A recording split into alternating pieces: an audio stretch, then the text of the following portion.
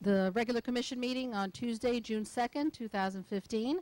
Uh, Before I take roll call, I just want to let you know, at the six-month mark, we changed vice mayor, so right now, uh, Vice uh, Commissioner Anderson is now vice mayor, and we'd like to thank uh, Commissioner Jonas for his service this last six months. Um, Vice Mayor Anderson?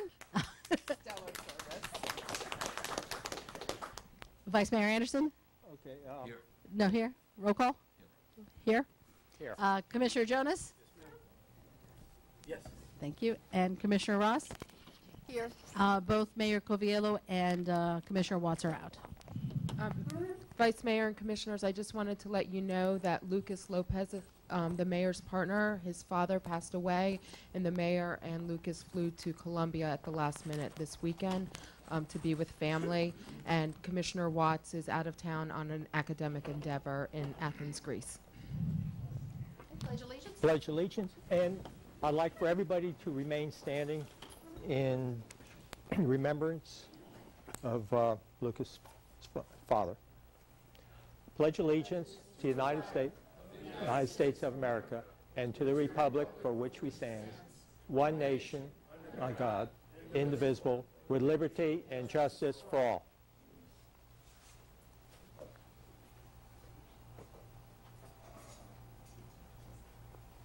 Thank you.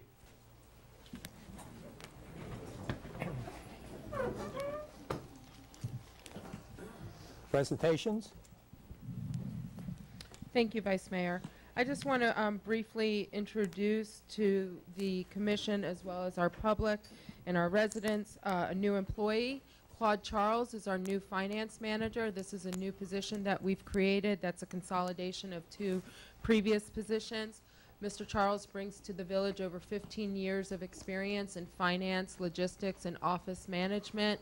He has specific um, experience most recently at a charter school, which has a lot of the same funding and um, reporting functions that a municipality would have. He started here um, about two weeks ago, and he hit the ground running feet first, and has already brought a lot of organization and knowledge to um, our operations and finance, and is setting up systems and working great with our staff to make sure that we are orderly, we are informed, and that we are making all of our payments on time. So this is a great opportunity for us. Thank you. Charles, if you just want to leave. Mr. Charles? W- w- w- Would you mind, s- mind standing so, so the camera can see, see you, so if all the residents can see who you are? Thank you. Welcome aboard.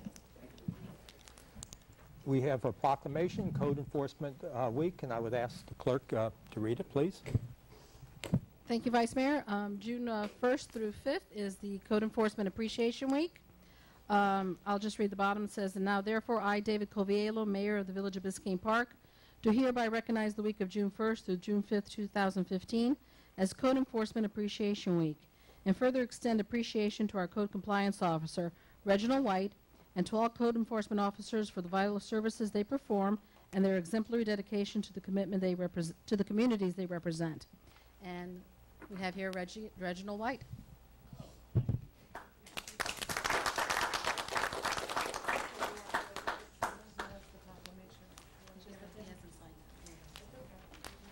Well, I just want to thank uh, first my staff for supporting me, uh, Christian, my manager, Heidi, my manager, and um, I just thank you to the residents too that support me. Uh, it's not easy being a code officer, but somebody has to do it.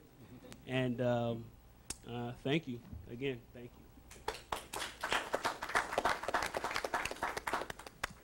Does any, anybody on the commission have anything to say?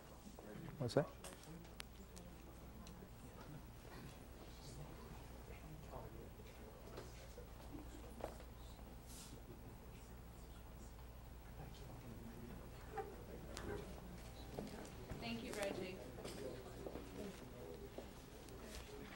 Additions, deletions, or withdrawals of the agenda?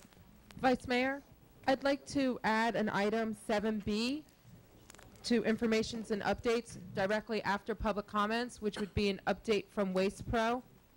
I've invited them to the meeting because I have some concerns about um, the recent service, so I think it's important that we have that discussion. Okay. Uh, I'd like to go ahead and remove 11A and move it over to July 7th, regular commission meeting. That's Chapter 5, uh, because two of the commissioners aren't here, and I think it's an extremely important thing that all the commissioners be here to weigh in on it. Do I get consensus with the commission?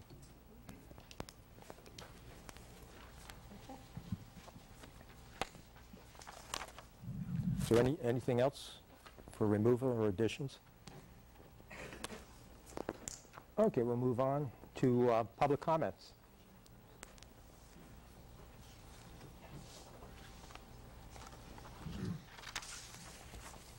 Just like to comment, this is on? Yes. Just like to comment on the, on the me, chapter Dan? five things. I know you've Excuse just me, Dan, could Yes, you announce yourself? Dan Keys. Um, I know you're not discussing it tonight. Uh, I came here three, four, five months ago when there was a proposal presented to the commission on this, this subject, and I said to y'all it wasn't ready and it needed work. I'm here again to say the same thing. I know you're still working on it, but some of the things that you've concluded, I think are still problematic. Specifically, uh, I have, you know, long list of things, but um, uh, I have an issue with retrofitting existing gravel, gravel driveways with a border that somebody thinks is necessary. Um, Generally, generally, the structure of this section of the code needs work.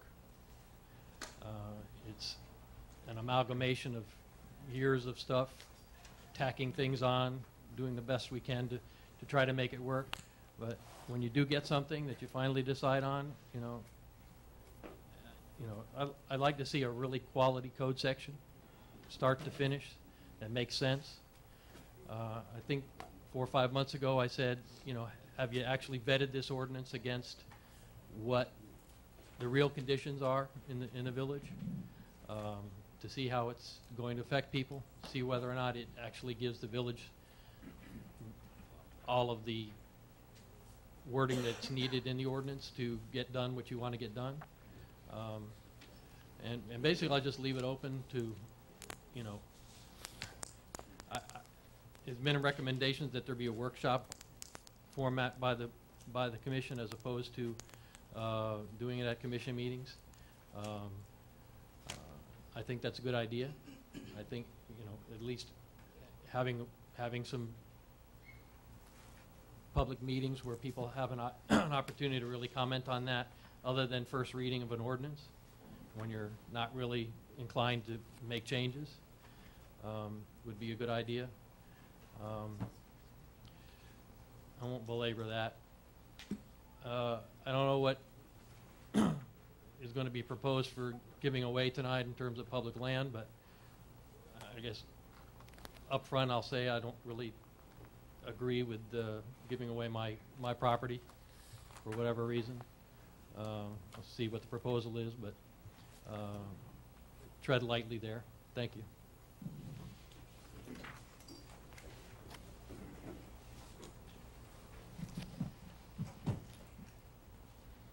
Justin Morris, 734 Northeast 119th Street. I apologize for my short pants. I didn't have enough time to put on a pair of long pants coming here to the meeting.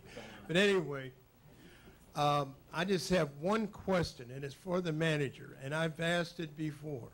When in the world are you going to have these people come down 119th Street and take away the old poles? They chopped them off when they put the concrete poles in. I noticed Fred got his taken out. We never had ours taken out. And everybody asked me, and I said, I don't know, but I'll bring it up. Please find out and uh, put some heat to these people. Thank you. Vice Mayor, may I quickly respond? Yes. Um, we, um, Doc, we consistently reach out to FP&L, and the issue still remains Comcast removing their equipment. So Comcast might I don't remember directly, but Comcast equipment might be off in front of your house, but it might still be an, on another pole down the street. So until all of the Comcast equipment's removed. And FP&L has monthly meetings where they sit down with Comcast because this is not just an issue here in Biscayne Park, it's an issue throughout the entire district for them. But we do monitor it. I wish I could just chop them down ourselves. I really do. I got a chainsaw. Okay, let me know. Off the record, of course. Uh, Milton Hunter, 646 Northeast 114th Street. Um, This will be very brief. I have three uh, things to say. Two um, uh, thank yous. First to Christian and our Public Works staff. Um, They were kind enough when they were tearing out some of the foliage uh, around the log cabin to remove a very problematic tree that was planted some years ago that I was uh, going to battle with and losing most every month for trimming. So I appreciate that and replacing with something else very much. Uh, For our manager Heidi, I'd like to thank you for continuing to look at efficiencies within our budget to find savings, as you did with our finance department. Welcome. And uh, keep it up. Um, Lastly, relative to new business item 12D, um, this is something that's been discussed a couple times. It's a very intriguing idea, but I want to make sure that we're thinking it through fully as to some of the ancillary costs that could be involved due to perhaps rezoning or surveying or any legal work to change any uh, distinction of property owned by the village or property owned by the uh, resident. I know this may have been born with the idea of the tree problem we had had that's been discussed through section five, which we're trying to resolve as well, and other ways to protect the village from some of that liability or exposure to liability. Um, but I don't think now, especially after the debt we've taken on recently, we need to go into more expense for something, uh, if indeed it becomes so for twelve D. That's it, thank you. Dan Samari at 1030 Northeast 121st Street. I wanted to just, uh, the rec board is not involved. I just wanted to let the commission know that what my company's plans of my annual 9/11 um, thing that I do on 9/11 for the victims of 9/11. Uh, So please bear with me. I hope you will. Uh, I'd like to ask the commission and the city if I can put my 9/11 collection up. Usually I wait until the last minute to do so. I'm learning to do stuff ahead of time, uh, planning much better. Uh, to have the collection put up from um, 9/1 to 9:30 in the rec center. Um, I also had a conversation with Representative Golden Gates, uh, asking her if she would, thought it was an idea of having children do some drawings on what they think 9/11 meant to them.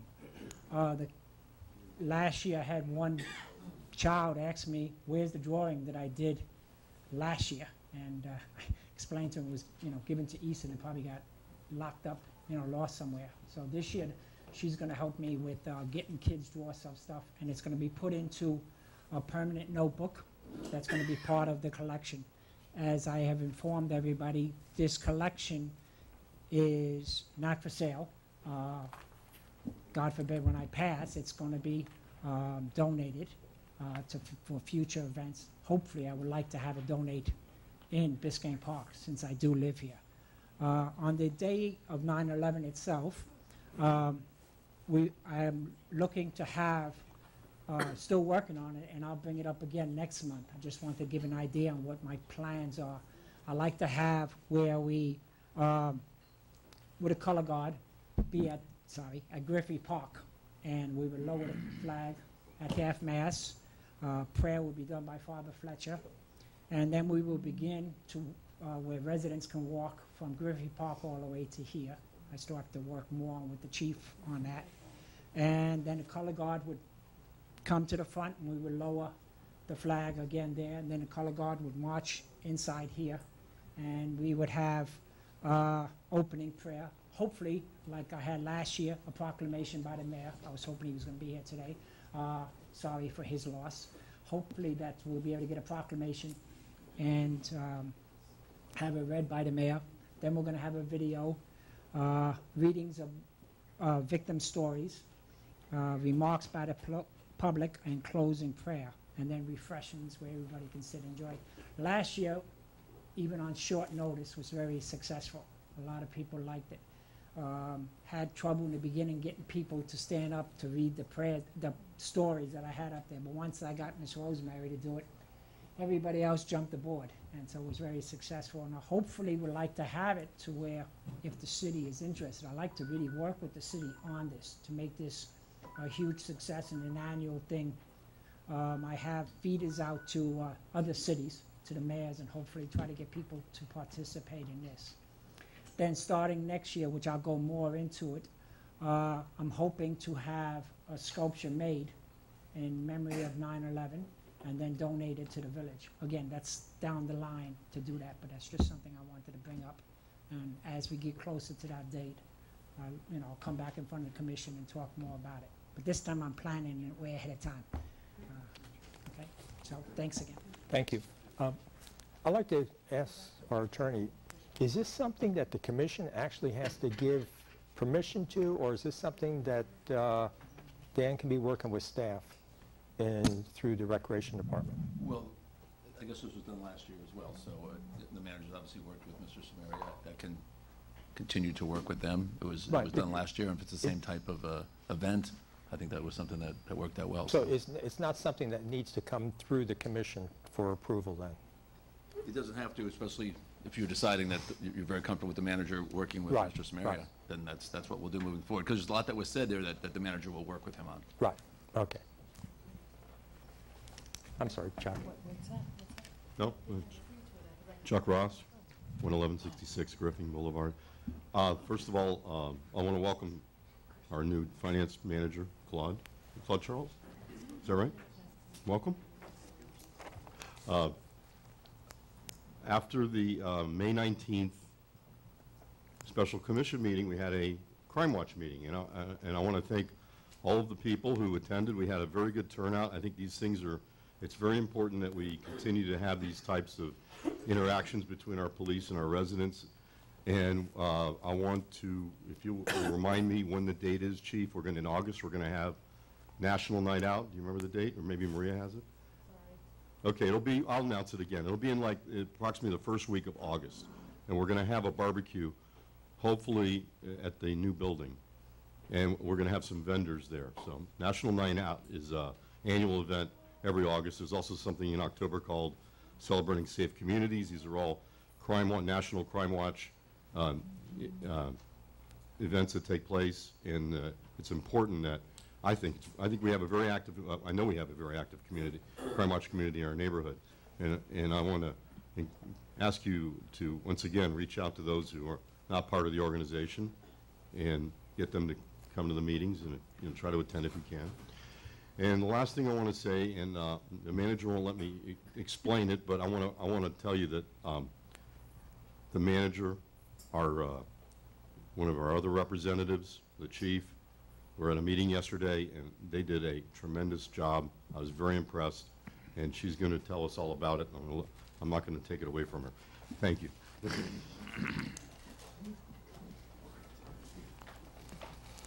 Janie Anderson, 11th Place on 119th Street. First of all, I've said it before, but I want a chance to say it again, Chuck. Chuck, I wanted to praise you first and foremost. You don't give yourself anywhere near enough credit for the resurgence of Crime Watch, for the greater activity in the community. You've made such a huge difference, and you don't get near enough credit, but you deserve it. Thank you. Now, on to item 12D. Well-intentioned though I know it was, I have to share the same concerns that Milt Hunter expressed. This is not a time to take on any additional expense. This is a time to be looking to trim so that we can handle these two buildings and the debt we need to incur to get them done right with minimal impact to our reserves.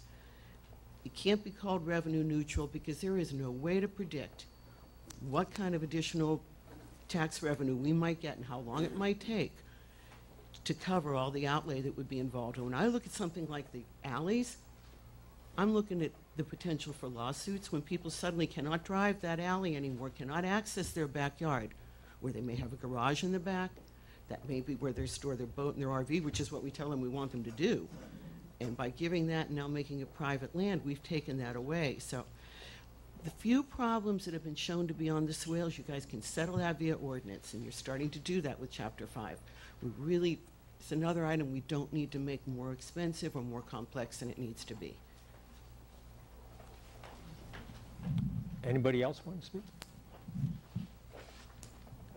Good evening. My name is David Young. It's a pleasure to be here today. Um, I'm a former judge and former television personality and radio personality, and I want to get back on the bench, and I'm running again for the circuit court. And part of my goal is to meet with every elected official and go to every community because I firmly believe that in order for the third branch of government to be productive and to be meaningful, we have to be able to all work together. And briefly, I have such a regard and respect for local government that I sit on, I'm vice chair of the Planning and Zoning Board for the City of Miami. And that has been an eye-opening experience, especially when you come from running a courtroom, a criminal courtroom like I ran, to running a Planning and Zoning Board. Fascinating. And I have learned, the lessons I've learned will be helpful in, because when you're a circuit judge, you sit as an, the appellate division dealing with zoning issues with municipalities. And my experience for the last four years will help me be a better appellate judge because I understand the concerns that the elected officials have. I understand the concerns that the community has, the homeowners associations. And I'll be able to bring a different perspective than the judge who only if he or she's been a judge for the last X amount of years. Um, I, I also believe that it is important that an individual who ascends to the, any, any elective office has the fire in the belly in order to do a great job. Like the members, in order for you to be a city commissioner, you have to have that fire, the desire to serve. And that's why after a several year hiatus, I want to get back on the bench.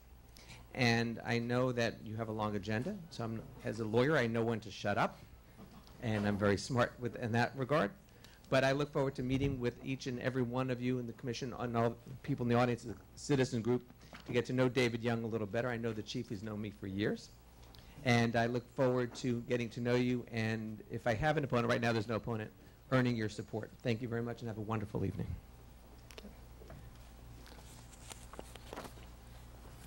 Anybody else? Okay, I'm going to close uh, public comment. Uh, Manager, uh, for the uh, updates, informational updates. Yes, sir. Getting back to the page on I know it's going through quick. Yeah, I was not there yet.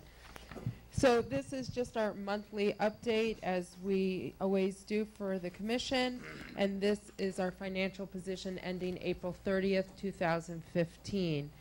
The only department that has presented itself as over budget, we are at 58% of the year. And the only department that shows that it's over budget is the building department.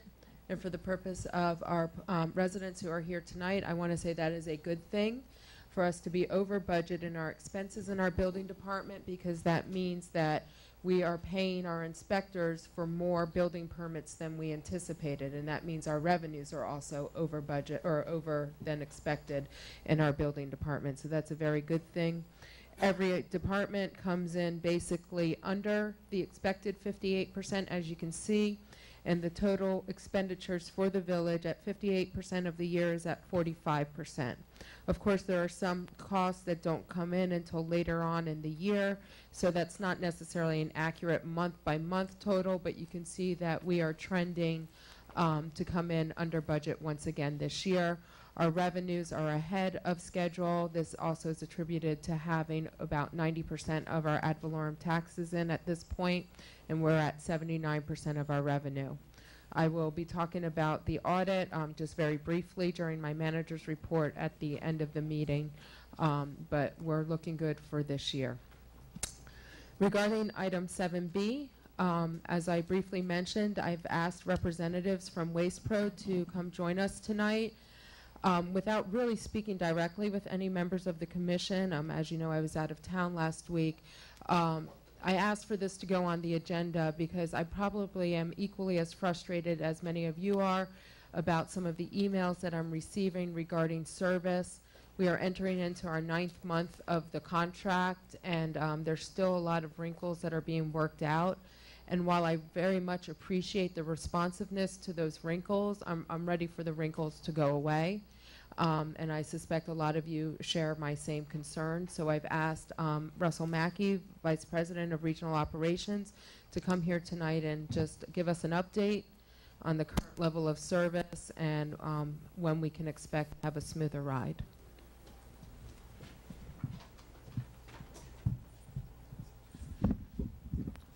Good evening. Russell Mackey, Regional Vice President, Waste Pro Florida. Um, you know, as Heidi said, we are entering our, our nine month, uh, ninth month here. And, uh, you know, while I see a lot of positives in, in, you know, what we've done here so far, there are consistency issues that are leading to the frustration.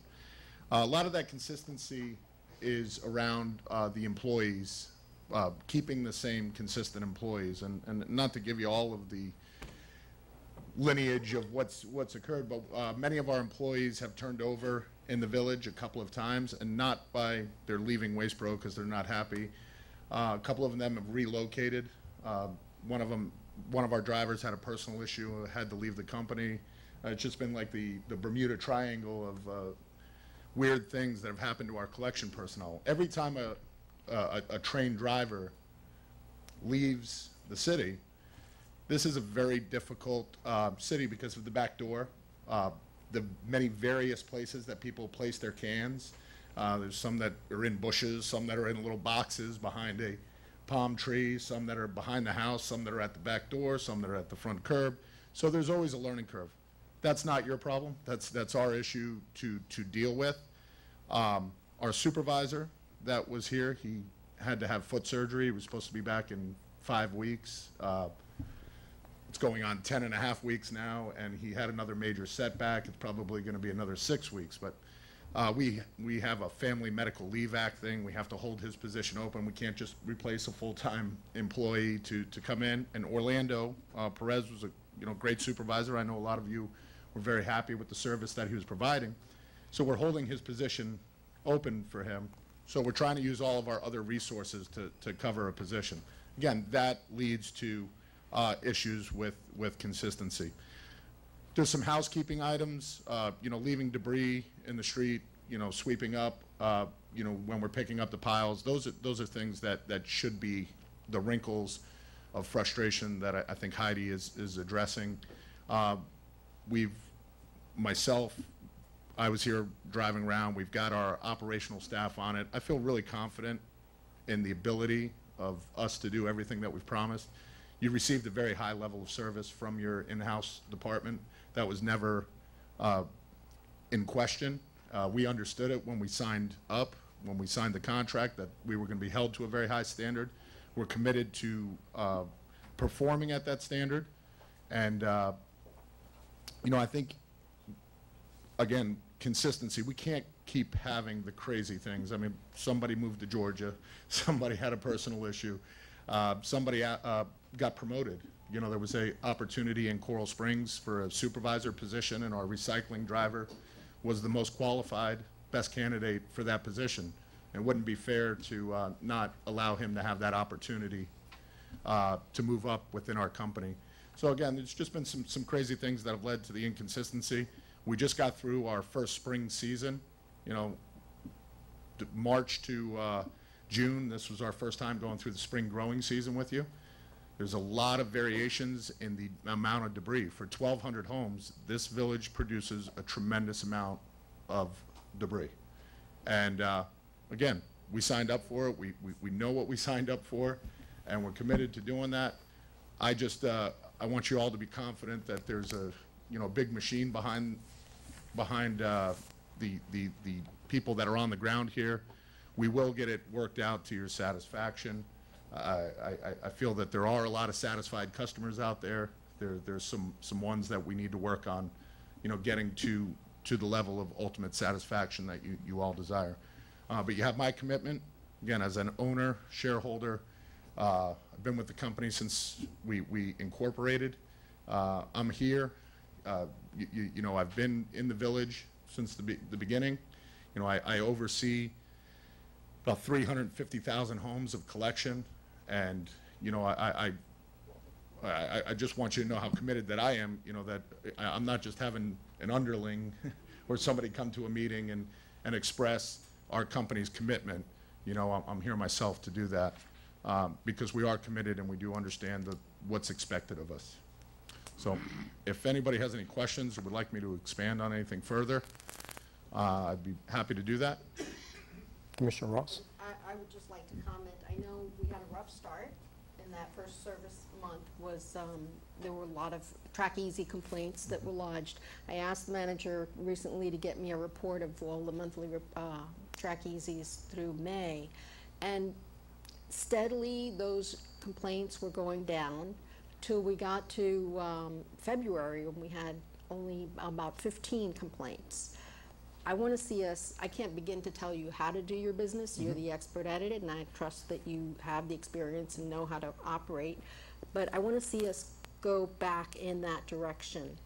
um, And for these uh, non-compliance issues to be cleared up. Yeah, I, I'm very confident we'll get back to that level. I mean, really, it's, it's, it's a big loss when you lose a driver that you've invested two or three months to train where every single container is in, a- in the backyard. There's 600 homes out of the 1,200, or roughly, approximately, uh, subscribe to backdoor service. And if you're not the one that goes and does that every time, you don't know exactly where those containers are. And you might go on a property and, and it takes you a little while to, to, to find that, that, that container. So, um, there, there, there are specific reasons that have led to a little bit of a spike. Uh, we have a driver, uh, that has consistently been on the route now for about six weeks. And I feel that the, the, the garbage issues should be, uh, should, should really start to go to a minimum. Uh, we have Supervisor Luis Martinez, who's covering here full-time now, so he's very well-versed on, on the village. That will help. And then the, uh, the third thing is, you know, it was our first springtime season. So while we've been here for nine months, February to, to June is the growing season, and it's, the debris, you know, all of a sudden spikes in a very short period of time. Again, it's our, our job to worry about that, but th- th- there are a couple of specific reasons why you see that little. You'll see it normal off and, and go back down. I'm very confident in that. On a positive note, um, I think that a lot of our residents were very excited to get the rolling bins, and you see more and more people putting their bins out on Tuesdays, so I think that we have a greater participation in the recycling program. Yeah, and I'll share that information with Heidi, but the, Friday is recycling. yeah. Friday is recycling, but Yeah. Did I say what, a day? I'm sorry. Um, Your recycling tonnage has steadily uh, gone up. That's something that we look at. So uh, the recycling in the city is, is getting better.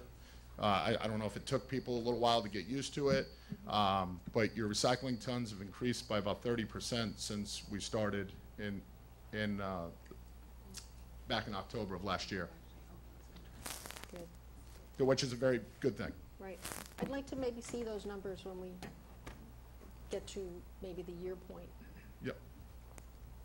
Yep. Thanks. Yeah, that, that's contractu- contractually, um, Right. I don't recall off the top of my head, but we have the right to review the tonnage because there is a benefit, there's the recycling rebate in our contract. It's an audit, right? Commissioner Jonas, do you have anything to say? Um, The people who've contacted me, like you've already addressed, you know, because of miss, miss pickups. But the other thing, which I've, I've seen personally even at my own house a number of times, it seems like they're, for the trash, that they're in such a rush that they don't take the time to go ahead and pick up the mess behind them, or maybe they don't even have a broom on the truck. And, and I get, I mean, I've seen that at my own house, Yeah. but I get complaints from other people for the same, same situation. Yeah, and, and again, I, I think why it seems like, again, that's, this is nine months into it, but generally when you, you start, you're getting the crew, uh, the first thing you focus on is getting the routes up and getting off the streets, you, you know, by six o'clock. And you focus and you focus on that. And then usually phase two to that is, hey, sweep up, you know, make sure the containers, the, the, con- the, the lid is next to the container, on top of the container, you know, that you're sweeping.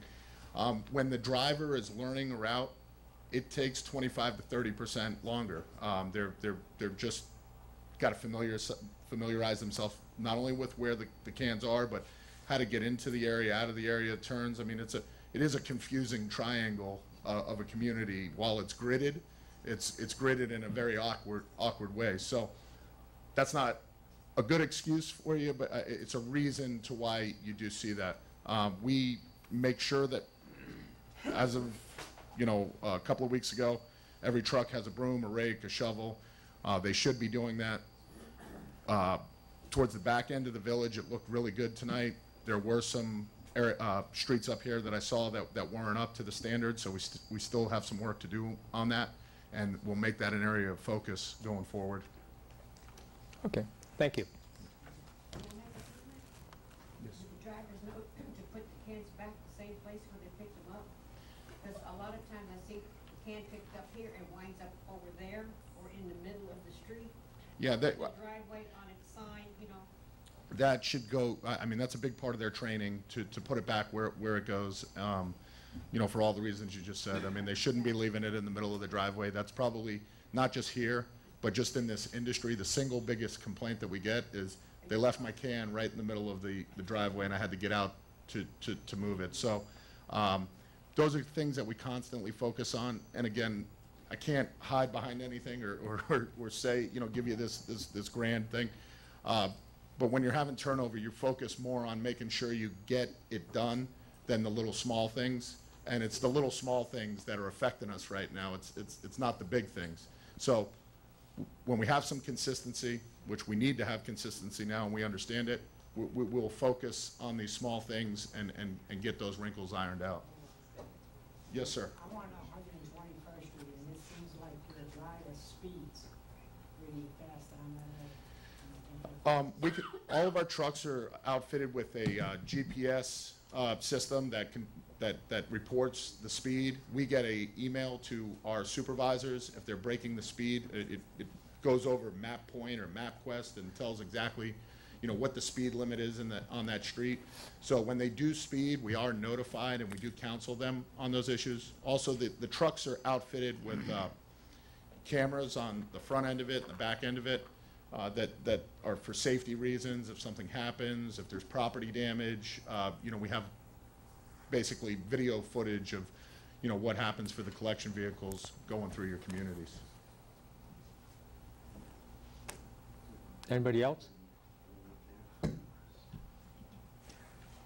I guess, I guess you're off the hook easy. Okay, well, I want to say, you know, we really appreciate it. No matter how big or small uh, a customer we have, uh, we, we really, we built our business on service. I know a lot of the same faces were here when I was here, you know, uh, selling our company.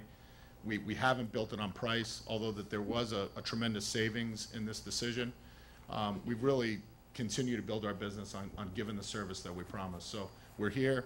If, if things are not the way that they're supposed to, we need to hear about them. You know, don't, don't just think, ah, you know, it's, it's minor, because that's the feedback that really helps us manage our business and manage our employees. So the Track Easy system is there for you to, to get a direct contact to us, have a, a, uh, an issue lodged that we can, we can see how many we're having in weeks, months, and, and it, and it helps us get better.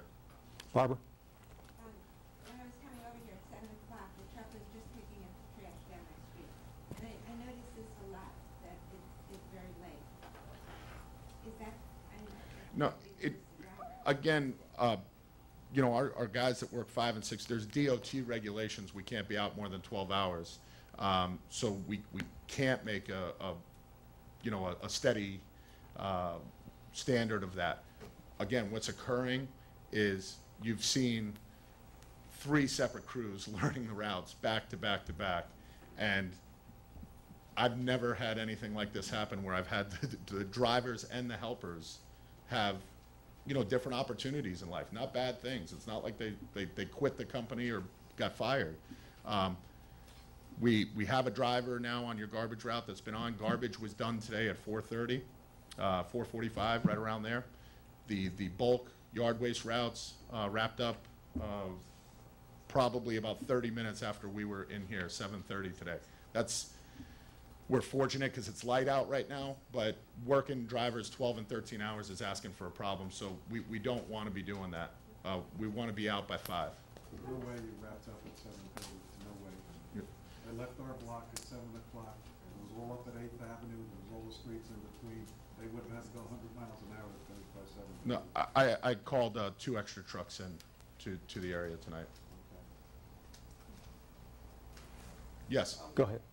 I just want to clarify something. Earlier, um, you mentioned fifty percent of your pickups, is that, I'm guessing that's estimated, is backdoor service, is that correct? Uh, They, they, there was a registration process that happened at the beginning. I- Do, you- do you know the number offhand, Christian? It's, uh, it's over 500. 480 Oh, or something. It's like sorry. 480. And That's, Uh, that's for backyard pickup? Yes, four- 40% then, not 50%. I apologize. Oh, that's pretty significant. Yeah. Yes. Dan? A while back, I made a few complaints about the trash uh, being left in the street. Uh, Fairly obvious stuff, on front. I mean, Seems like it could have been picked up. Yeah. Um, you know, you know, I promised that rakes and brooms and stuff are on the trucks. I'm, I'm wondering if they're stored in, a- in a place that, that, that, where they're easily accessible to the, to the guys on the ground.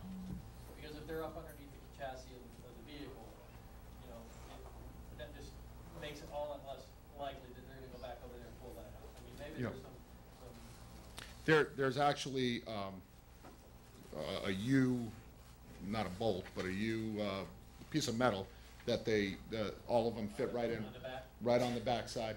What, what occurs, and I- I'll tell you, the guys go to the dump, and that door has to go up into the air uh, to push the trash out. And the guys get to the dump, and they forget to take the broom, the shovel, and the rake out. And they raise that door up, and the stuff falls out, and it goes into the trash, and then they're scared to tell their supervisor, hey, I left the, the broom, the rake, and the shovel. So instead, they say, oh, I don't have a broom, a rake, and a shovel. Um, eh, you, you know, again, those are my problem as, as a business uh, owner and manager to deal with. Uh, but we do, we, we, I, I spend more money at Home Depot on shovels, rakes, and brooms than, than you could ever imagine. On the side of the truck. Well, they are. They're right. They're right on the side, but uh, they're on the tailgate. You know, so they're easily accessible, and that tailgate has to actually lift and turn upside down to, to push the trash out.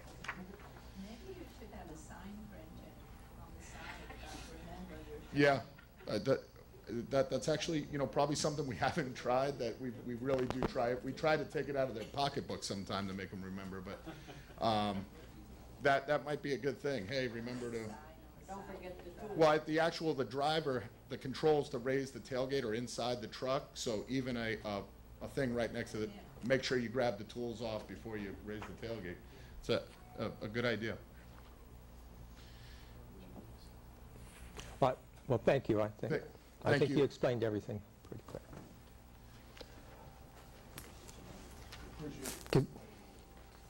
Consent agenda?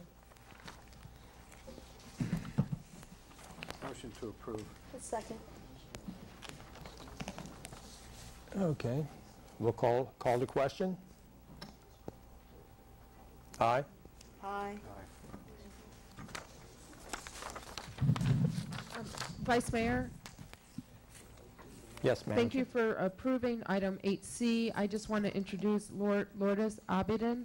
She is here with um, Estrada Hinojosa, and I just wanted you to see her face because we'll be working with her throughout the year on our quarterly auditing as well as throughout our budget season. So I thought it was important for you to just see who Lourdes was tonight. Thank you. Okay. Thank you. We have no ordinances, no resolutions. Under old business, we have moved uh, 11A to next month. New business, we're under 12A. Manager? Vice Mayor and Commissioners, I have some very good news as we um, start this discussion. Our goal for the discussion tonight is just to set some broad goals for our budget season. Our budget season officially kicks off this week with the receiving of the June 1st esti- estimate of the assessment roll from the property appraiser. And using this number, the staff will sit down and start to craft a draft budget that we will then use for the setting of the tentative millage rate at the June, uh, um, at the July uh, Village Commission meeting. But in order to do that, we would like to hear some feedback from the commission regarding what their goals are for the upcoming year. The clerk has just provided you with the June document that we um, received yesterday. And if you can see on the first page, on the front, it says um, that our assessed value is $159 million. Last year, our assessed value was $144 million, so we've gone up $15 million. If you turn to the second page is the chart that shows all the municipalities and special taxing districts here in Miami-Dade County. Number 17 is Biscayne Park. It's highlighted in yellow for you. And including our new construction, we have gone up 10% from last year. If you recall, from last year, um, from last year, from two years ago, we went up 8.9%, and this year we've gone up 10%. So that's a significant change.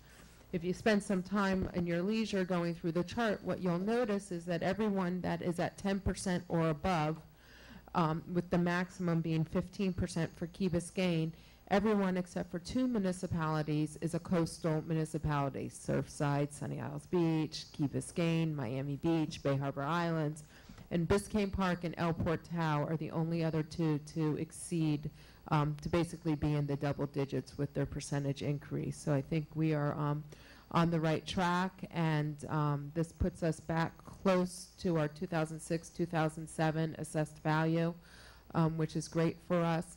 And with this information yesterday, um, I would like to offer as part of the budget goals discussion that it is the goals of the staff to find ways to increase municipal services and lower the millage rate at the same time with this added value that we've received. You just took one of my goals.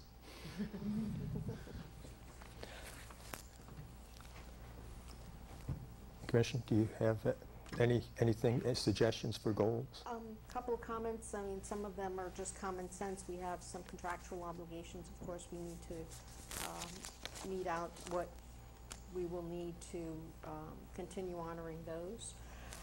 I certainly would like to see us complete our log ca- cabin restoration and with a reasonable amount of landscaping around the two buildings. Um, some of the things that we have been working on over the last couple of years, continuing with our tree trimming and improving our medians and common areas. We want to make sure that we preserve or add to the budget to do that. Uh, let's see. As you say, commit to our reserves and commit to lowering the millage rate. Uh, want to make sure that we continue to uh, engage the services of a legislative consultant in Tallahassee. Um, also would like to see us find some funding, and I'm not sure that it will be within the millage, may, maybe some other funding source, to find uh, funding for planning for our streets and flood mitigation. And that's probably something we'll need a workshop to talk about at length. Um, here at the Recreation Center, we've talked for a while about uh, improving the lighting around the walk, around the, the park, um, improving the cameras and security system. And a couple of months ago, we talked about developing some kind of a master plan to repurpose certain areas of the um, recreation center. So those are some of the goals I'd like to see us tackle with the, uh, with the budget this year. And of course, we're missing two of our commissioners, so I think it's important to hear from, from the mayor and from Commissioner Watts as well. Commissioner Jones? I really don't have anything to add to what Rock said. I just, um, I just would like to see us continue to improve our general condition in every way we can. And um, Commissioner Ross, I mentioned to the manager that uh, I was tossed with an idea whether to go ahead and move this whole thing to next month's meeting, but I figured, I felt it'd be better for the three of us to have a discussion and then have it on next month's agenda with what we discussed along with the rest of the commission. So at least the manager has a little bit of a direction of our feelings. Uh, one of the things Manager, one of the things I would like to see is, I know we, we scheduled the workshop back-to-back, where we do half the budget and half the budget. I'd like to see some space on that so we could digest what we've done. And then maybe have a third short meeting, or could be part of a commission meeting, to this whole package put together, so we can understand it. Because I'm concerned, you know, we're going through something we've never gone through before. We have a debt service now and all, you know, everything else and the renovations. And we, I think this is the time that we really, really, the whole commission needs to take a look at this budget. And you've already indicated that you're really sharpening your pencil on it. And to go ahead and do it due justice so we don't just cram it right through too quick. I, I tend to agree, those back-to-back budget workshops are grueling on us and on staff, because at the first one, we'll task staff to come up with different analysis and, and then come back the next night, and they're usually do take three or four hours. So uh, if we could find room in the calendar to separate them a little bit, I think that And, would and then, because, and then, then maybe have a, not so much as a full workshop, but maybe on the commission meeting, because that second one, where we're going through new things, then we see the whole package together. That's no problem. We'll look at the calendar. And basically, the rest of the stuff that was talked about, the thoughts on the budget, I concur with. Thank you. Okay, um, we're on to 12B, board appointments, Public Art Advisory Board. Um, Vice Mayor, just to recap, currently we only have three board members on there. Right. So now we have a, a returning board member who submitted his application and a new board member. And then, you know, if both of those members are appointed, it's a full five-member Full board. five-member board. Do I have a motion to, uh, No, no, not for pu- public art. Um, I make a motion to, uh, accept the application of the public art, um, t- for the Public Art Board, and the application for the Planning and Zoning Board. That's a separate well, it's a, se- it's a separate, separate item. This is just, Okay. just is for public art. Public art. Do I have a second? Yeah. Okay, I'll call, call the question. Aye? Those in favor? Aye. Okay, now we're down to 12C. That's the uh, Planning and Zoning Board appointment. And I just wanted to clarify, you all got my, I hope you all got my email uh, subsequent to sending you this. One of the current members resigned, Victor Recondo. So right now, we only have four board members, and now you have two um, additional uh, board applications. And if I'm not mistaken, are either of those board members here for planning and zoning or applicants? And then they're both here in case you had an- any questions. Jacqueline and Brid- Brigida? I'm sorry, the names are Jacqueline? And you want them to come to the podium and introduce themselves? I, we're gonna have to identify one as being a voting member and one as being an alternate, so I just wanted to have Well- the names. Do do you have any, because, uh, there's, there's one question I think is important to, to get answered on it, so I mean, I'll- I don't want to be stepping on, on you. Because both board members or applicants have the last name living at the same address. And you can't be related to each other Okay. To be on the same board. Yeah, I guess we weren't aware of that. So that's, you know, it's completely up to, I guess you guys based on the applications that. Um, requirements of resident, of being a property owner. I mean, you can be on two separate boards, but you can't be on the same board.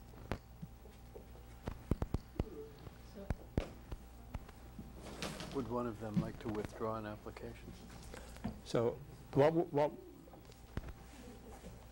so, it- you know, instead of us deciding which one would be the best, I think, I would rather see one of you decide that you would rather withdraw your application for, The, the Yeah. attorney's verifying that. okay. I thought it was a- as a relative to the commission. Mm, No, okay, let me get,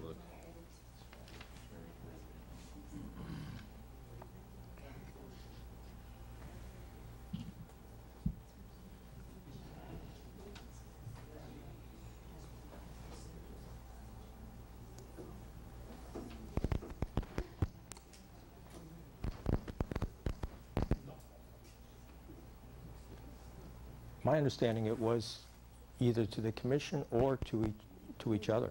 I think that's right. Maybe.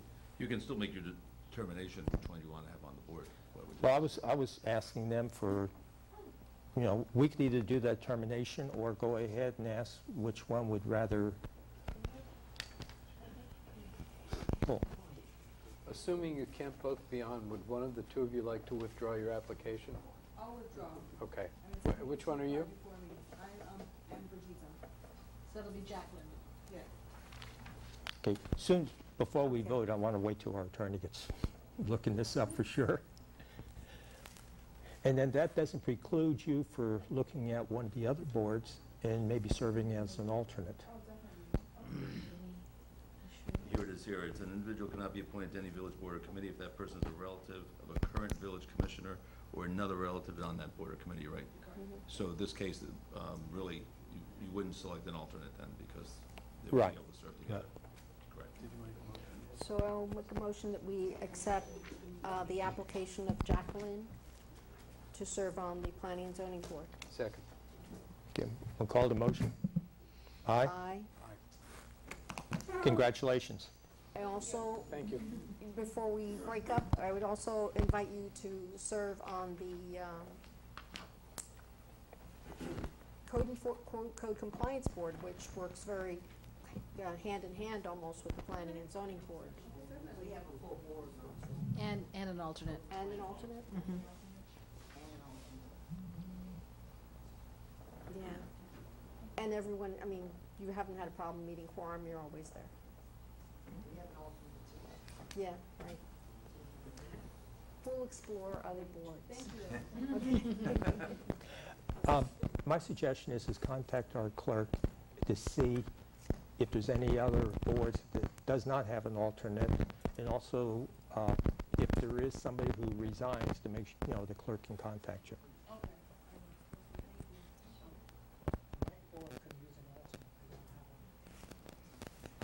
You guys need to talk to each other after the commission meeting. I'll follow up with you, Brigida.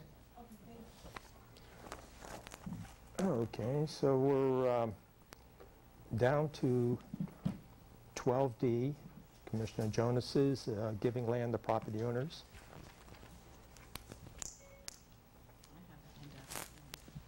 Okay. Commissioner Jonas? There are actually three kinds of, of tracts of land that the village owns, but doesn't use and doesn't need.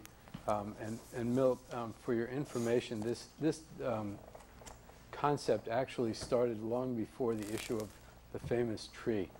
Um, One of the kinds of tracts of land the vision, the village owns is a little network of pathways that connect um, various streets to other streets, and these pathways wind around sort of behind people's houses and along the borders of their houses. There's several of them. I used to have a map of them, and I don't know what happened to it, but you could never even identify these, these little pathways anymore because they've been absorbed into people's landscaping.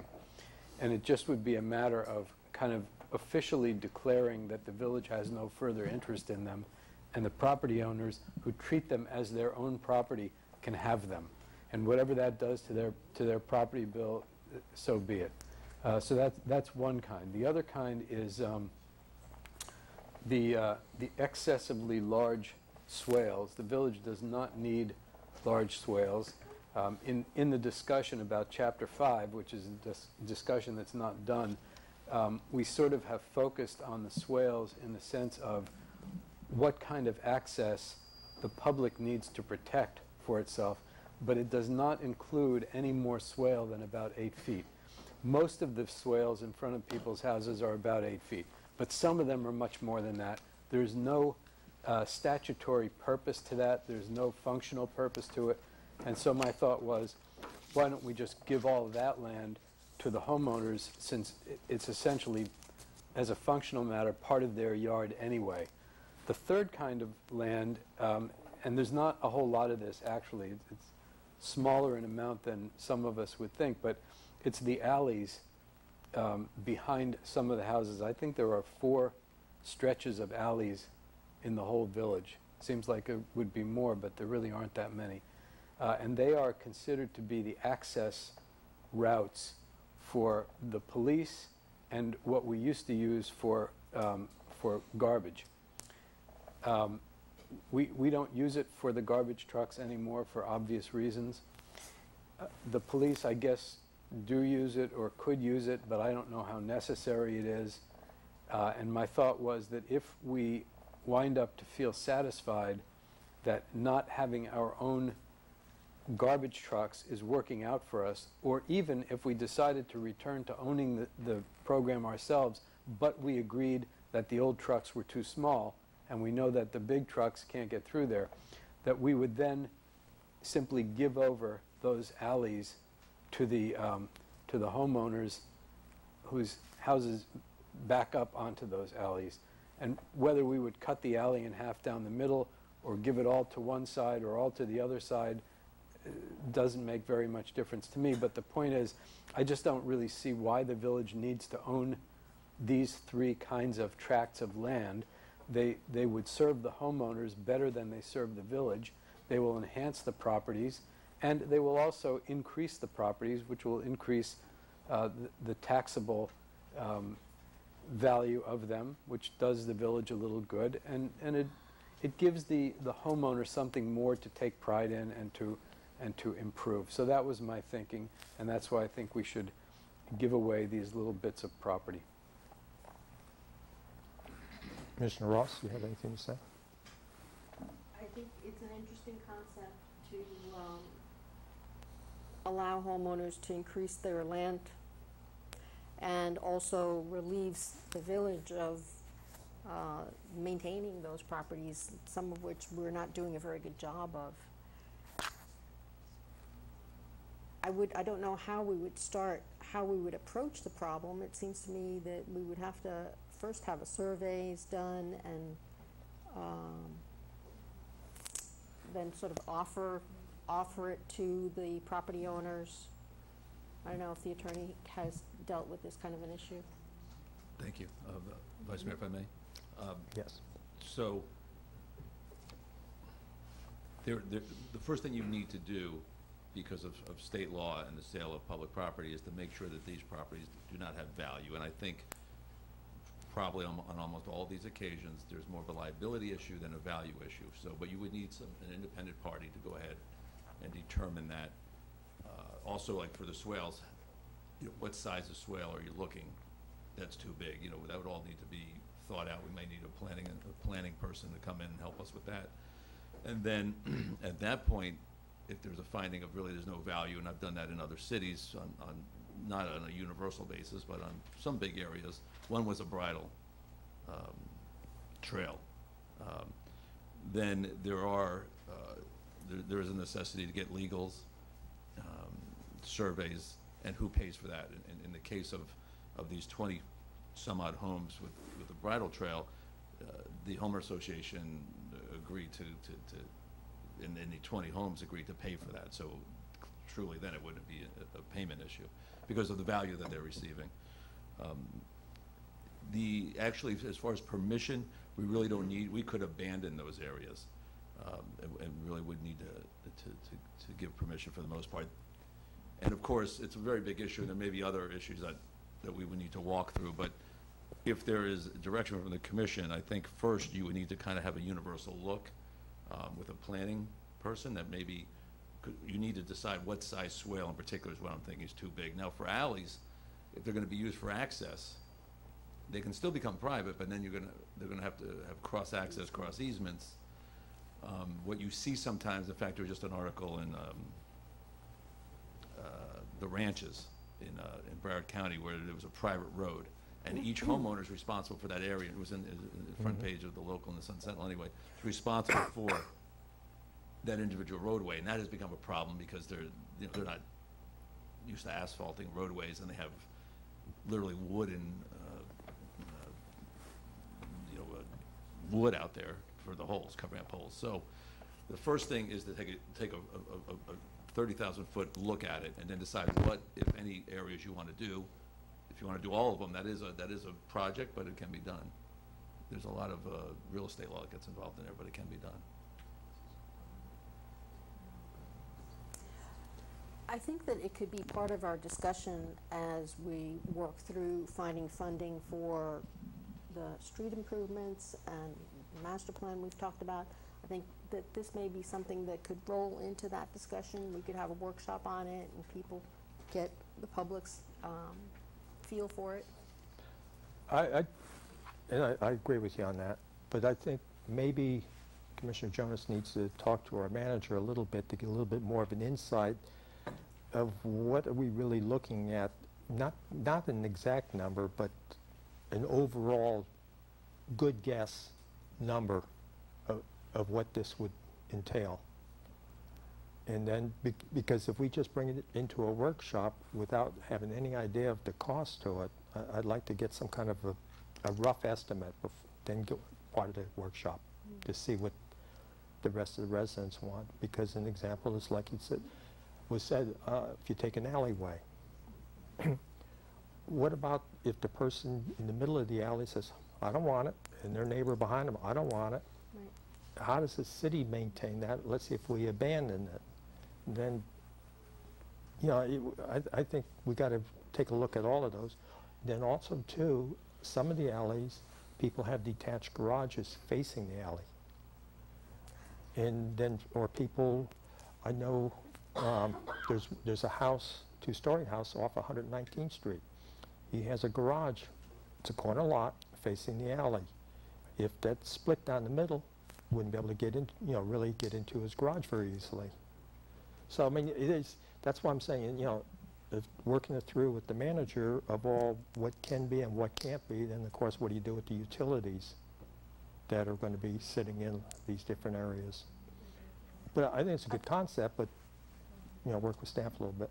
I think it would be very difficult to even start to estimate what, we don't know what's gonna be needed, so it's hard to estimate what it will cost. And as the attorney was saying, well, in certain circumstances, the homeowners might contribute to the cost of the surveys and the cost of getting the legals if they're gonna derive the benefit. So we initially, I think, just have to have a general conversation with the property owners throughout the village.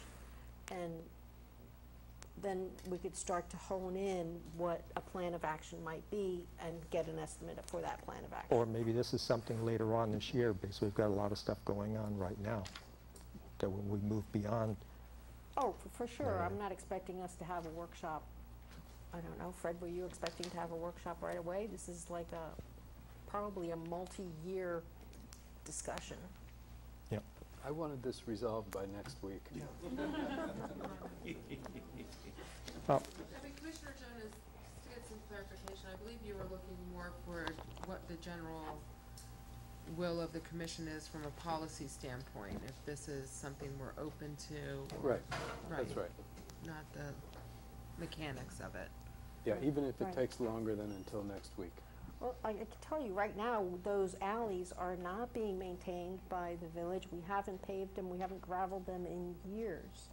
And um, I know our police patrol them because, you know, it's part of what they do going around the village, but if they all shut down and only had the easement for the uh, utilities, that may not be such a bad thing. I- We'd have to see what, I don't live on an alley, so I can't speak for the people who live on well, also too, because, you know, like I said, we have to, you know, it's how, what the homeowners think about the property rights of having access to the backyards.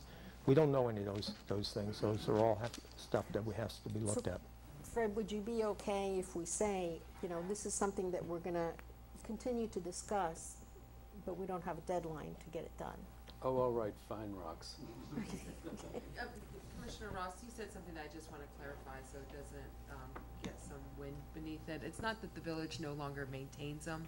My understanding, because I asked this question myself a few months ago, is that we didn't necessarily maintain them. Our garbage trucks going down the road maintained them, and that's why you didn't see the grass growing up. It was Oh, you kind of didn't like. see the grass growing up, but you saw those pits and those. Oh, no, you know, absolutely, but growing it's not deep- like we're ruts growing purposely deeper. not mowing them. We, we didn't mow them before, is my understanding. It was, Right. our trucks kind of took care of it. Right. Okay, we'll move on to uh, request for placements of items on next uh, meeting's agenda.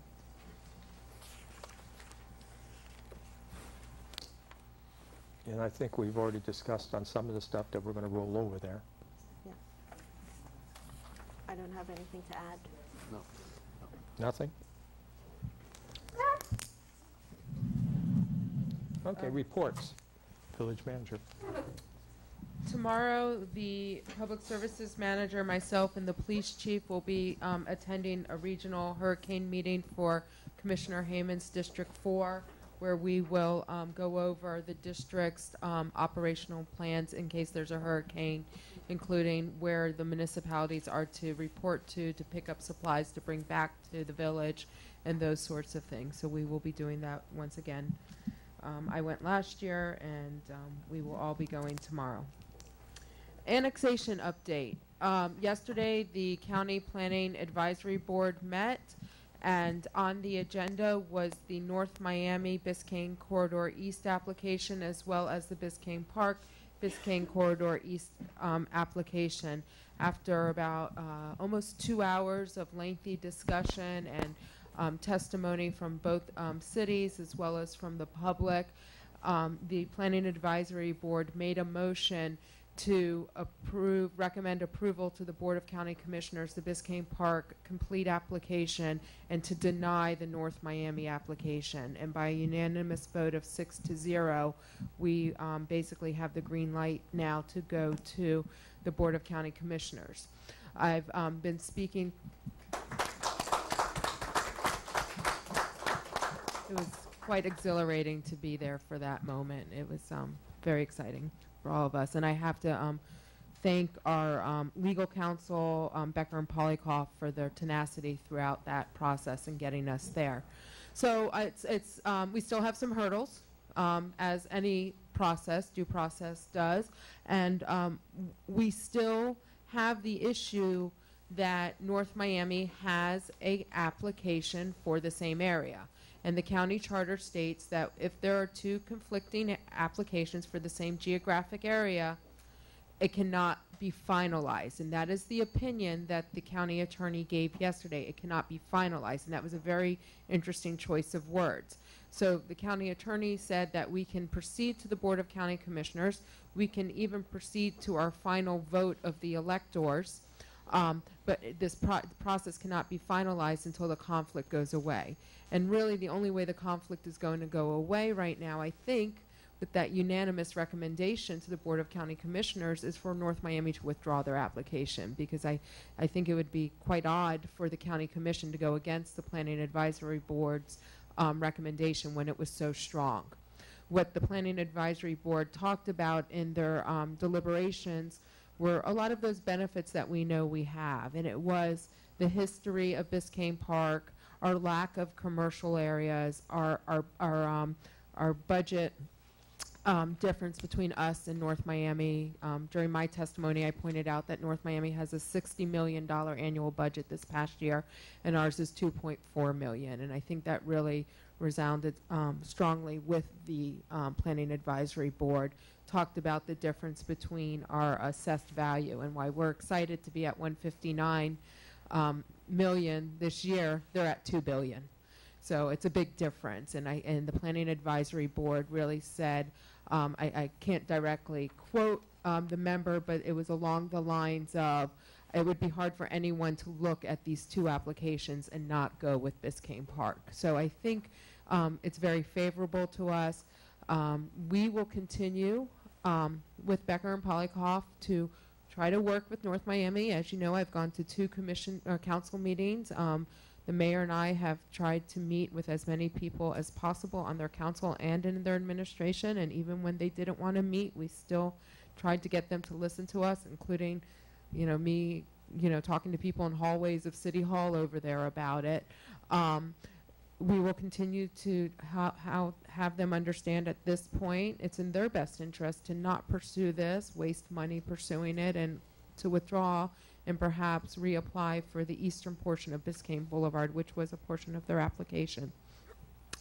And we are also um, already setting up meetings to meet with um, some of the commercial um, landowners on Biscayne Boulevard because they were there at the meeting and um, they did express some concerns um, about the difference in the millage rate, but they also indicated to us some of their wants for the area, and it's wants that we've already talked about, and that's changing the zoning in that area. So um, we're gonna, we've already set up one meeting, and we're gonna continue to set up meetings over the next few weeks to meet individually with those commercial property owners, to introduce them to Biscayne Park and understand what their goals are and what our goals are, and um, hopefully go to the county commission with support from the commercial property owners. So, um, and, and that reminds me, that was the other thing that um, really um, resonated with the Planning Advisory Board, and that was that we did not shirk away from the residential portion. And they, they, um, these are seasoned Planning Advisory Board members, and they reflected on that some of the goals of annexation were to bring residents of Miami-Dade County into municipal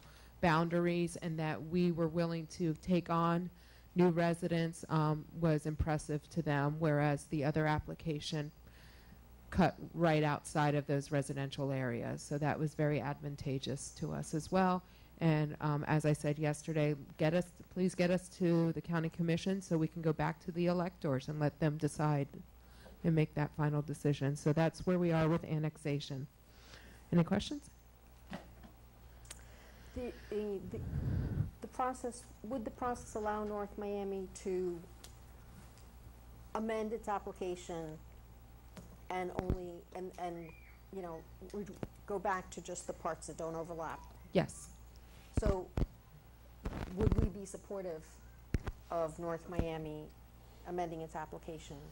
throughout all of our talks with them, I have I've taken the liberty to share with North Miami that we would be completely supportive of them taking the east side. I, I made that assumption because without that conflict, we had no issues with them being on the east side outside of Sans Souci. Um, and I would hope that the commission would concur with that stance. And with the comments that I heard from the meeting yesterday and comments I've heard in the past, it's very important, seems very important for the North Miami residents to have uh, that Sans Souci Boulevard, both north and south of it, be part of North Miami. So I think that's great.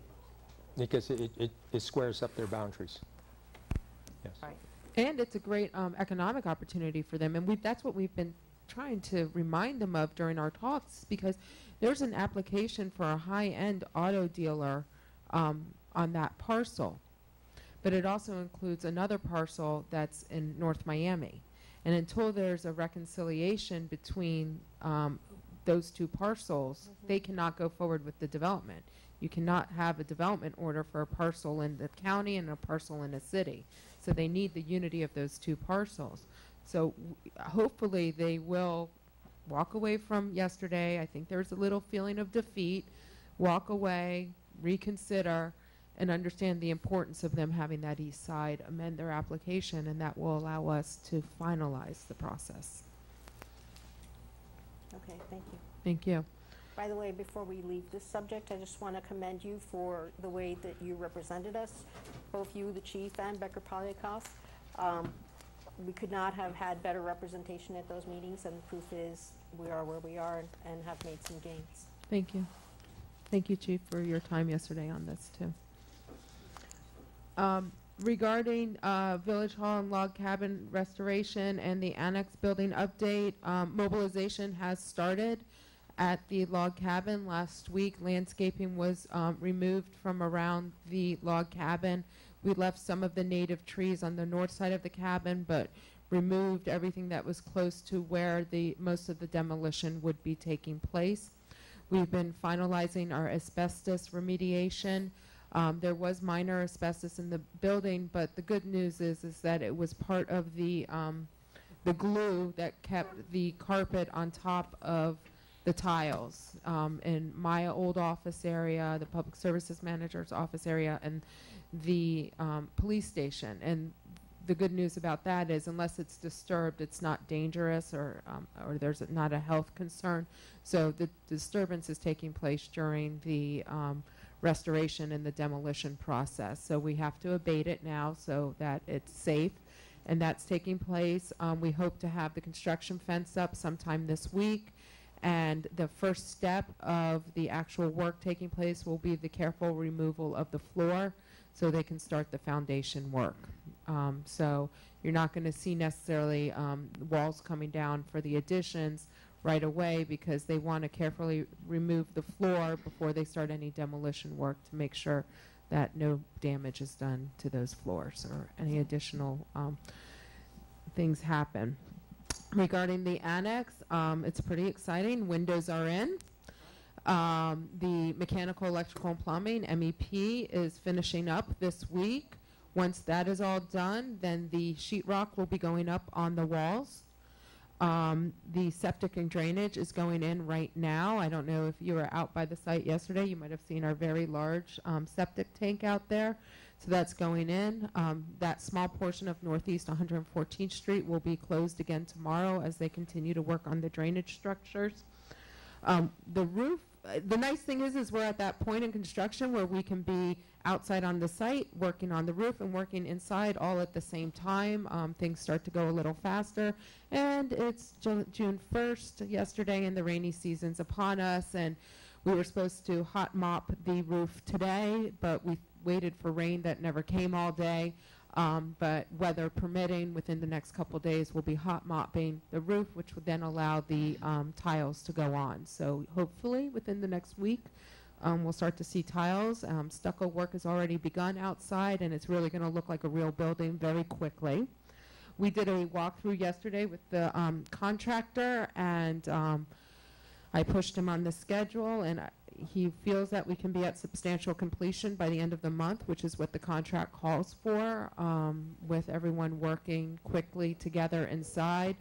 Um, we plan to doing uh, doing a walkthrough with the employees uh, by the end of this week, so that um, in case we missed anything, outlets, um, workspace, um, all of those things, all eyes will be on the building. So before they close up the walls for good, we can make sure we've caught everything.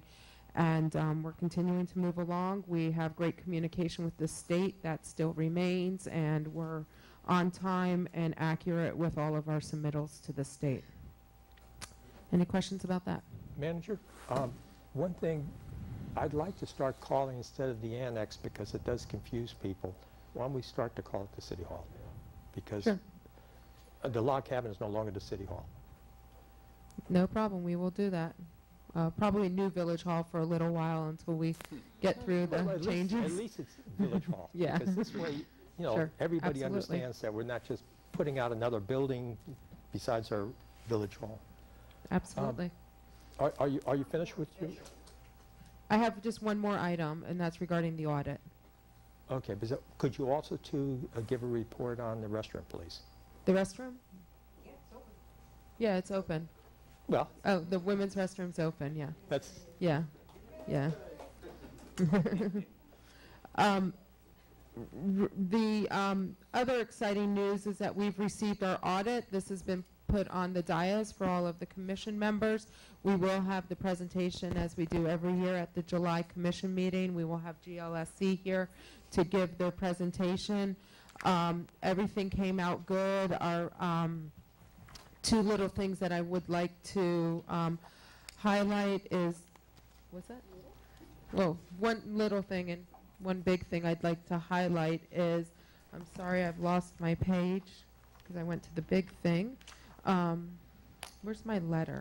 Oh, it's up here. The um, village um, financial condition What, what page number? on page um, Roman numeral lowercase 2, right up at the beginning of the book. This is the letter from myself to the commission, just a summary, has improved from unfavorable to inconclusive. So we're one step closer to being, well, we are one step closer to being favorable, but we are not unfavorable, which I think is very important. And part of that has to do with a little piece of information that is found in the last paragraph of page six.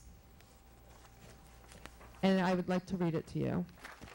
The increase in unrestricted net position, and for the lay people out there, that is called our reserves, of 120,838 was attributed to an increase of revenues from current year operations offset by a decrease in expenditures from current year operations and transfers out to other funds. So we're uh, expected to put $120,000 into our reserves or have for other uses um, based on last fiscal year that ended September 30th, 2014. And we're very proud of that statement. Thank you. Is that the, end- en- your end of your report? Okay, village attorney? I'm here to alert you that your liberty and property is once again at risk. The Florida legislature is in session.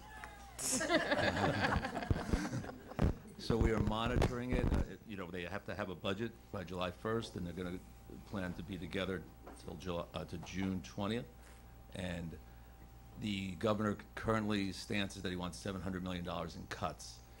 Often, that is done through unfunded mandates and through not recognizing our home rules. So we're monitoring that, uh, talking to some lobbyists that are monitoring on a daily basis, and we're hoping that our grant stays in, and when they pass the budget. So just wanted to let you know where, that's where you're at. I reached out to Mr. Caserta today to see if he had any updates, and it was the most um, ambiguous response I've ever gotten from Mr. Caserta because he's on the ball, and it was basically summed up to be, well, they're in session, you know. So I think that's that's the feeling coming out of Tallahassee right now. It's very unclear what's going on there right now. Is the grant not irrevocably committed? Well, it, it, it's, it has to stay. A future grant, not the not the million Oh. dollar Yeah, no, grant. no, the future, no, no, okay. the future, yeah, right. Yeah, Okay. we're on a list that is actually, it, the good news is, is this grant, unlike the million dollar grant, is in the general appropriations budget. It's a budget of, I think, um, 30 million, 38 million, which is very small compared to the rest of the budget. There's about 45 to 50 projects on that list. It was recommended by the Florida um, Historical Commission. So hopefully it will just go through as part of the um, Division of Historical Resources Department budget unless someone's got a- something against historic preservation right now and they're going to Very, very use it as a chip. So, Also, good news is that they have for the past several years funded Correct. that, that. yes, it's, it's, it's, it's a- it's a line item in a departmental budget, so it's pretty innocuous, but it's really strange up there right now, so. Th- This is the grant that, it's the hundred, it's a hundred thousand dollar grant, but we have to put in fifty thousand, so it's a total of hundred and fifty thousand dollar. Correct. Correct? That's the Correct. one. So, Okay. No, no reason to think otherwise, other than it's just very strange up there right now. Yes, that's for sure. Um, Board and committee reports is,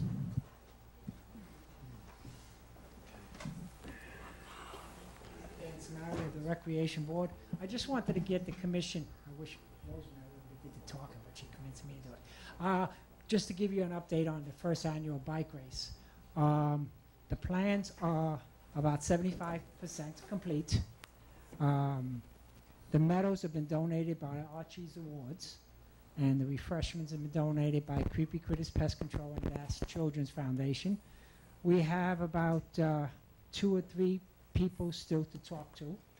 Uh, We still need volunteers, and if there's any questions that you ask about the bike race, you ask me or Ms. Rosemary. So we're just going to continue. Uh, As, as- as the chief informs me, uh, this is uh, Rosemary's project, not uh, the captain's project, so she she actually takes over.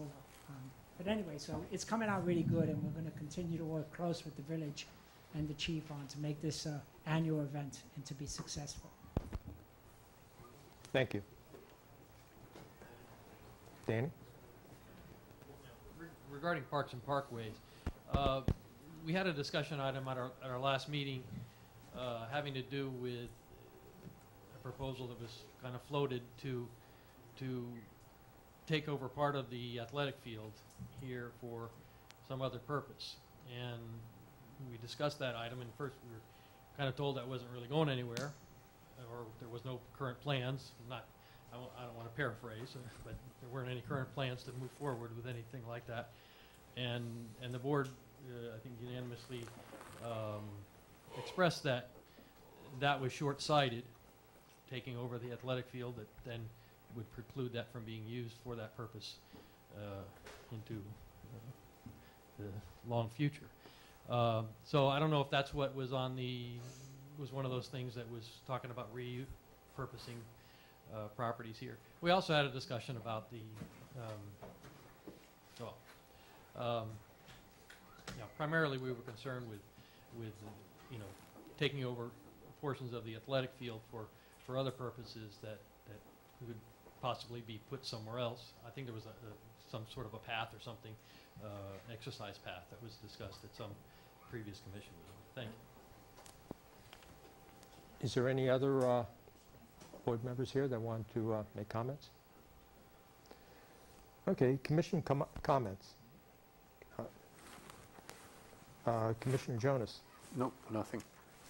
Commissioner Ross. I have no further comments. Okay. Announcements. Thank you, Vice Mayor. On Monday, June 8th, we have Code Compliance Board at 7 PM. Wednesday, June 10th, is the Public Art Advisory Board at 6 PM. Saturday, June 13th, we have a quarterly trash pickup. Um, On Monday, June 15th, Ecology Board at 6:30 PM. Monday, June 15th, is the Planning and Zoning Board at 6:30 PM. Wednesday, June 17th, is the Parks and Parkway Advisory Board at 6 PM. Tuesday, June 23rd, is the Recreation Advisory Board at 7 PM. Friday, July 3rd, all village departments are closed for Independence Day. Sunday, July 5th, will be our Bark of July, Dogs in the Park Day. Monday, July 6th, is the Planning and Zoning Board at 6:30 PM. And our next regular commission meeting is Tuesday, July 7th, at 7 PM.